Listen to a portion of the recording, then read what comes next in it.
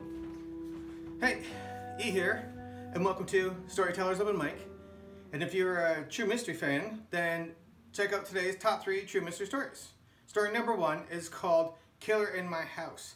Now, what if you discovered a serial killer in your house, but that wasn't even the scary part? Watch the story. Story number two is called Retired Cop.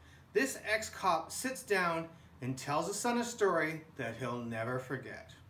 And story number three is called Wuornos. In all of my travels in life, I may have crossed paths with a killer or two. But believe it or not, I almost picked up a hitchhiking Aileen. True story. To watch today's top three True Mystery Stories, click the link down in the description or go to truemysterystories.com. There you can watch all three of today's stories and more. And as always, don't forget to vote for and share your favorite story. Thanks for watching.